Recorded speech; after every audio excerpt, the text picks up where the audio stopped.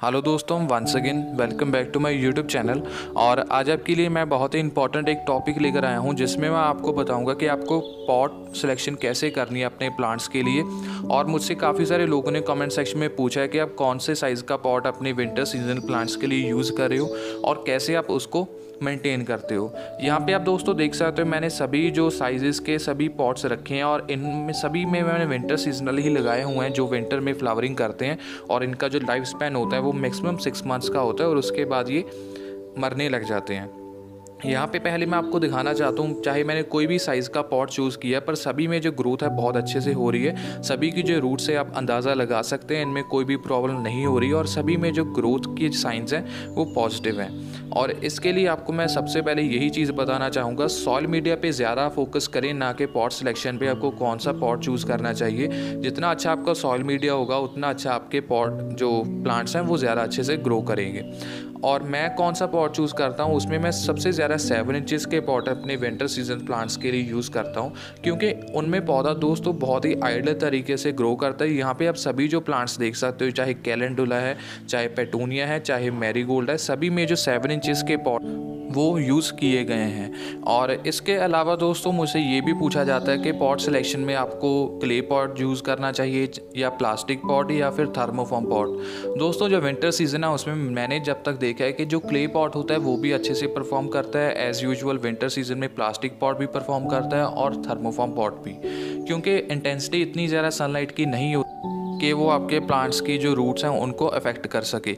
इसलिए winter season में आप कोई भी पॉट यूज़ कर सकते हो। अगर आपके पास है अबिलिटी कि आप क्ले पॉट्स परचेज़ करें तो आप वो सबसे ज़्यादा बेस्ट रहेगा परचेज़ करें। उसके बाद आप प्लास्टिक पॉट्स भी चूज़ कर सकते हो, अगर आपको कोई प्रॉब्लम नहीं है प्लास्टिक यूज़ करने में। सो इसके लिए वो आप पे डिपेंड करता है कि आप कौन सा ग्रो करते हो। पर हाँ समर में ये चीज़ें बहुत ज़्यादा अफेक्ट करती हैं आपके पौधे को, क्योंकि उसमें रूट्स हैं, उनको बहुत ज़्यादा डिफ़िकल्टी होती है ग्रो करने में। अगर आप उसको प्लास्टिक पॉट में लगाते हो और मोस्टली अगर आप ब्लैक कलर का पॉट चूज़ करते हो, उसमें आपका पौधा कंपेरेटिवली दूसरे प्लांट्स के बहुत कम ग्रो होता है, क्योंकि उसमें इंटेंसिटी ज़्यादा होती है और जो सनलाइट है ज़्यादा अफेक्ट करती है आपके पौधे की रूट्स को। पर यहाँ पे आप देख सकते हैं सभी थर्मोफॉर्म पॉट्स में लगाए हुए हैं जो मैंने नर्सरी पे परचेज़ किए हैं और सभी में जो ग्रोथ है इक्वली हो रही है और सेवन इंचज़ का पॉट मैंने यूज़ किया हुआ है। दोस्तों, मैं एक और चीज़ आपको बताना चाहूँगा। इसमें हम क्यों नहीं बड़े पॉट्स यूज़ करने ज़रूरी? क्योंकि देखिए, अगर आप बड़े पॉट्स यूज़ करोगे, उसमें आपको मिट्टी ज़्यादा लगेगी और आपकी मेहनत भी ज़्यादा लगेगी, पर फिर भी ग्रो तो ऐसी ही होगी, चाहे आप बड़े पॉट में यूज़ करें, ग्रो करें इनको। पर उससे ज़्यादा बेहतर है कि आप सेवन इंचज़ के छोटे पॉट यूज़ करें, क्योंकि सिक्स मंथ्स के बाद हमें इनको निकालना पड़ता है, क्योंकि उसके बाद इनकी फ्लावरिंग ख़त्म हो जाती है। इसके लिए हमेशा ये ध्यान रखें कि आप ज़्यादा बड़ा पॉट ना लें, सेवन इंचज़ का पॉट सही रहता है। और कभी कभार ऐसी भी सिचुएशन आती है, हमारे पास एक से ज़्यादा सीडलिंग्स होती हैं और पॉट्स कम हो जाते हैं और उस सिचुएशन में मेरे पास एट इंचज़ से टेन इंचज़ के पॉट रखे हुए होते हैं, जिसमें मैं एक या दो प्लांट्स इकट्ठे लगा देता हूँ। पर उनको भी लगाने के लिए दोस्तों आपको ये देखना चाहिए, उनको हमेशा सेंटर में ना लगाएँ, उनको कॉर्नर्स में लगाएँ। यहाँ पे आप देख सकते हो एंटीनैनम के प्लांट इनको मैंने बिल्कुल कॉर्नर्स में लगाया हुआ है, जिसके साथ इसकी जो ग्रोथ है वो ज़्यादा जो इफ़ेक्ट ना हो और इनकी ग्रोथ ना कम हो। यहाँ पे जो मैरीगोल्ड्स हैं, ये मैंने चार या पाँच लगाए हुए हैं।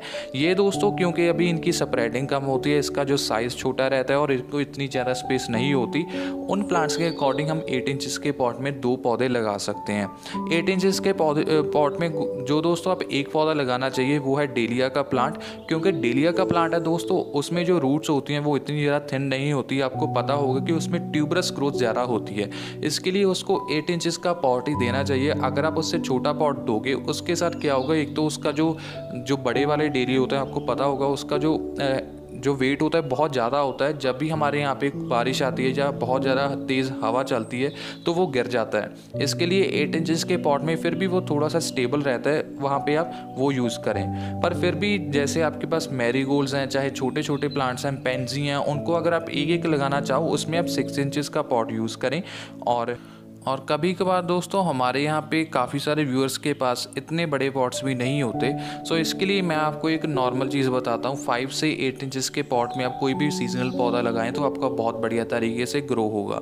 और यहाँ पे आप देख सकते हो, ये वाले पौधे हैं, ये सभी मैंने छोटे पॉट्स में भी लगाए हुए हैं, फिर भी अच्छे से ग्रो कर रहे हैं। और इससे सबसे बड़ी एग्ज़ाम्पल अगर आप नर्सरीज़ में जाओगे, वहाँ पर पॉली बैग्स होते हैं। पॉली बैग्स फोर या फाइव इंचज़ के हार्डली आपको देखने को मिलते हैं, जिनमें ग्रोथ बहुत ज़्यादा अपने पौधे की दिखती है, जो हमारे घर पे प्लांट्स लगाए तो उनके कंपेरेटिवली भी वो बहुत बढ़िया तरीके से ग्रो करते हैं। उनमें मेन चीज़ आ जाती है दोस्तों, वही सॉइल प्रेपरेशन क्योंकि वहाँ पे आप देख सकते हो, वो एक ही सॉइल बार बार नहीं यूज़ करते, क्योंकि उनके जो प्लांट्स हैं, वो सेल होते रहते हैं। हमारे यहाँ पे इतनी ज़्यादा सॉइल लेकर आना मुश्किल है नहीं, इसके लिए उनके जो ग्रोथ है कंपेरेटिवली हमारे जो प्लांट्स के अकॉर्डिंग बहुत ज़्यादा ग्रोथ होती है, क्योंकि उनकी जो नए सॉइल होती है, नई सॉइल में जो पौधा है, वो भी ज़्यादा अपनी एबिलिटी क्रिएट करता है, उसमें न्यूट्रिशंस लेने की इसके लिए वो इफ़ेक्ट आ जाता है। सो so, दोस्तों यही चीज़ होती है फाइव इंचज़ से टेन इंचज़ में आप कोई भी पौधे में प्लांट में जो पॉट रिक्वायरमेंट आप ले सकते हैं पर फिर भी मैंने आपको बताया अगर आप न्यू पॉट सिलेक्शन करना चाहते हैं तो आप सेवन इंचज़ लें। अगर आपके पास नहीं है तो ये चीज़ नहीं है कि आप नहीं ग्रो कर सकते आप फाइव इंचज़ से एट इंचज़ में कोई भी पौधा आप सीजनल बहुत अच्छे से ग्रो कर सकते हो। पॉट सिलेक्शन में दोस्तों, जो आप देख सकते हैं, सभी मैंने आपको पॉट्स दिखा दिए हैं बेसिकली जो मैं यूज़ करता हूँ, और इससे आप अंदाज़ा लगा सकते हो। जो मेरे पौधे हैं, उनकी ग्रोथ कैसे हो रही है। हमेशा मैं यही आपको कहता हूँ, जो मेरा एक्सपीरियंस होता है, उसके अकॉर्डिंग मैं आपको चीज़ें बताता हूँ। आपका एक्सपीरियंस थोड़ा सा अलग हो सकता है, पर मैंने सभी जो साइजेस के पॉट में अपने प्लांट्स को ग्रो करके देखा है, जिसमें मैंने फाइव से एट इंचज़ में अपने इतना ज़रा हार्डली डिफरेंस नहीं देखा अपने पौधों में। सिर्फ़ उसमें हमने सॉइल अच्छी सी रखनी है, उससे साथ उसके साथ आपका जो पौधा है, बहुत अच्छे से ग्रो होगा। और जो मैंने आपको बताया, जैसे डेलिया का पौधा हो गया, उसमें थोड़ा सा जैसे प्लांट्स हैं, वो ज़्यादा हैवी हैवी हो जाते हैं, उसके लिए आप एट से टेन इंचज़ का पॉट एक प्लांट के लिए चूज़ करें। वैसे दूसरे नॉर्मली सभी विंटर सीज़न इसमें ग्रो अच्छे से होते हैं। आप मैरीगोल्ड्स भी देख सकते हैं। हर एक में मैंने एक एक पौधा लगाया सेवन इंचज़ के। इसमें मैरीगोल्ड्स भी बहुत अच्छे से ग्रो कर रहे हैं। सो आइडियल पॉट है, अगर आप न्यू परचेज करना चाहते हो तो सेवन इंचज़ अगर आपके पास घर पर पड़े हैं पौधे, जैसे पॉट्स फाइव से सेवन इंचज़ में, आप वो सभी अपने प्लांट्स के लिए यूज़ कर सकते हो। उसमें ग्रोथ बहुत अच्छे से होगी। और जैसे फाइव इंचज़ में आप थोड़े से छोटे पौधे लगाएँ तो ज़्यादा बेहतर है। अगर अगर आपके पास पेटूनिया के प्लांट है, वो भी आप अच्छे से लगा सकते हैं। सिर्फ़ सॉइल प्रेपरेशन है, सॉइल है, वो अच्छी रखें, इतनी ज़्यादा पुरानी ना हो और आपके नॉर्मली उसमें जो पौधे अच्छे से सर्वाइव कर सकें। सो आई होप आपको ये वीडियो पसंद आई होगी, आपको नॉर्मली सभी चीज़ें क्लियर हो गई होगी कि कैसे हमें अपने पॉट्स को रखना है, कौन सा पॉट ज़्यादा बेहतर रहता है और कौन सा पॉट आपको न्यू लेकर आना चाहिए। So thanks for watching and don't forget to to my youtube channel. For more updates, you can also click bell icon. Thank you.